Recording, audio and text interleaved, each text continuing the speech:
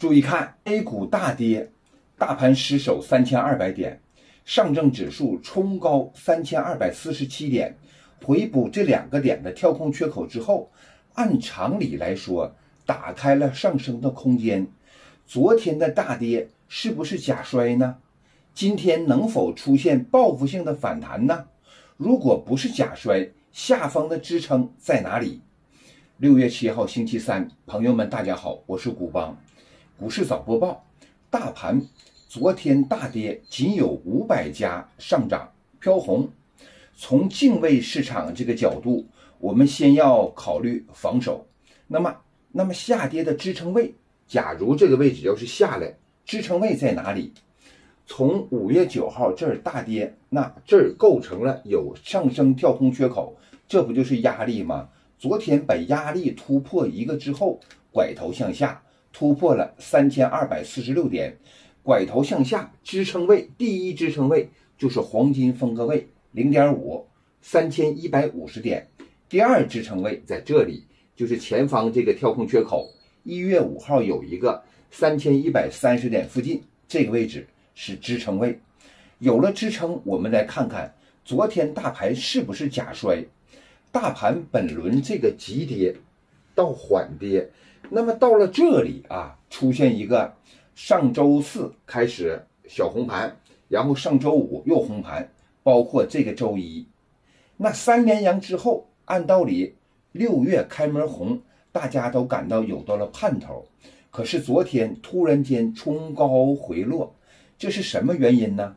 那四大指数在技术上的不协调是主因之一，另外就是外围市场的消息方面，这个消息方面我们不能讲，大家懂啊。那我们从技术上来讲，四大指数走势不协调，不协调它就得需要在这个位置有一个盘缓。那我们再从细节上来看一看，通过周线、日线图，包括还有六十分钟，从细节仔细瞧。我们先看上证，以上证五零来说，上证五零是这个样子日线图，这里呢有一个序列的低九，那日线级别序列低九，这证明什么？这证明这一大段的下跌可聚集了不老少的上涨动力。那我们再看科创板。通过科创板这儿不难发现，我们这是六十分钟图啊，六十分钟图，这马上又要出现。今天上午一开盘序列低八，然后第二个小时就会出现序列低九，这不就是短线动能开始释放吗？序列低九之后，这个位置聚集了上涨的动力，这是科创板六十分钟级别。我们再看深成指，深成指我们看周期大一点啊。这地方已经出现日线级别的和六十分钟级别都有一个聚集动能，这不是六十分钟序列第八吗？那我们再看日线级别，你来瞧，这不是也是连续下跌？更主要的是周线级别大周期，大周期现在是序列的第八周线级别，那到下周就是序列第九了，这就代表这里已经聚集了相当大的动能，并且。这个位置要是上涨的话，级别可不小。这是深成指，我们再看创业板，创业板也是这个样子，周线级别已经出现序列第八，下一周就是序列第九，这代表着这个位置聚集了相当大的动能。如果这个位置上涨，级别可不小。我们期待这种反转的行情。综上所述，我的观点，短线要把握报复性反弹的机会。重点看好自己手里的品种，不破五日线持股待涨，这就叫不跌破五日短期趋势吗？我们没有道理把它卖飞了。那么这个位置多数下跌的品种，在这里面可是输时间不输钱了，所以中长线有投资价值。那很多东西都已经进入到这个阶段。好，我是古邦，喜欢的点赞加关注，我发视频。你第一时间就能收看到了。以上是个人的分享，没有指导别人的意思。咱说说国外的消息方面啊，呃，多的那个方面咱们先这次不能讲了。那我们讲讲对咱们好的。你比方，世界银行发布了报告，就最近一期的报告，它把世界经济的增速从百分之一点七上调到百分之二点一，这上调的力度可不小啊，上调了零点四个百分点，那这可不小，涨了就是净的也得很多了。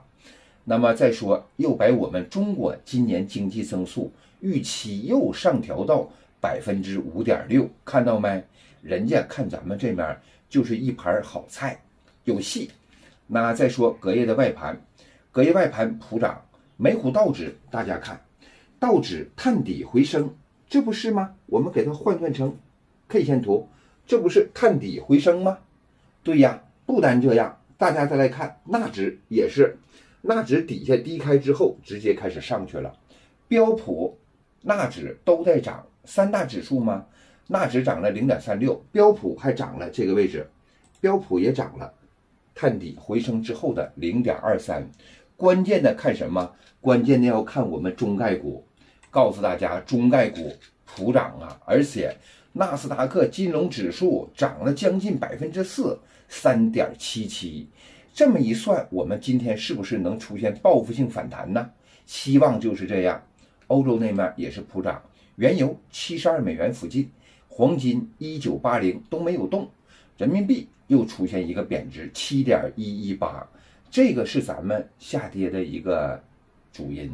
那好。说说咱国内的消息方面，首先，央行昨天开展了一个二十亿的七天期逆回购，但是当天有三百七十亿七天期到期，相当于从市场上抽血回笼资金吗？三百五十亿，这个钱虽然不多，但是毕竟是回笼了，在咱们现在本就成交量捉襟见肘的基础上，又抽走三百五十亿。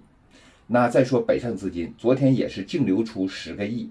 但是茅茅台吗？净买入四个亿，这不就是有人欢喜有人忧吗？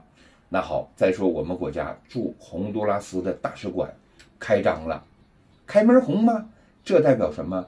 红以前跟咱们海峡那面他们是那个，现在已经调过来了，这不就是我们的大国力量吗？好，再说多地金融监管现在正在调研和摸底儿。叫信贷的需求，昨天呢，你包括房地产市场，包括金融风险这些东西呢，都会我们在调查这些东西啊。那你像昨天大金融、银行、保险，包括房地产，是不是有很多东西产业链都动了？跟这个都有关系。正在调研，说明什么？说明未来这个位置房地产能不能顶一杆儿？那好，再说证监会又核准了七个企业企业债的注册批文。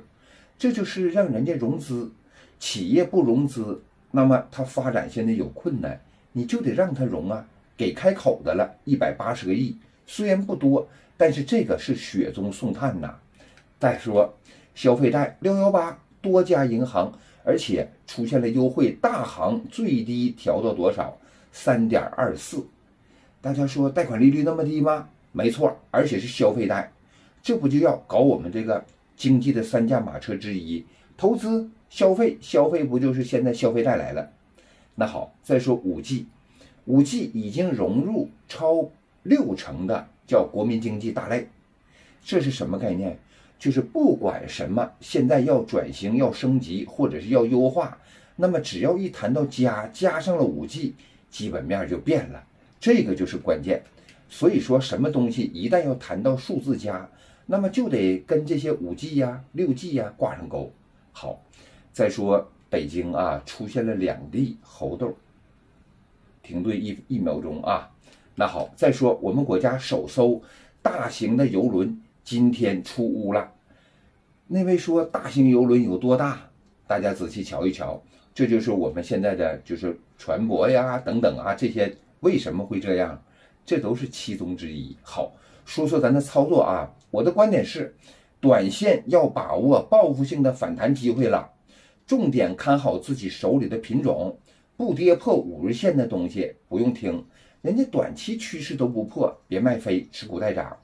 现在多数的下跌品种在这里面已经输时间不输钱了，大家明白我的表述不？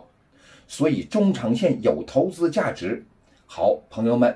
我是古邦，喜欢的点赞加关注，我发视频你第一时间就能看到了。今天上午我们看看能不能出现报复性反弹的机会。好。我们中午收盘见。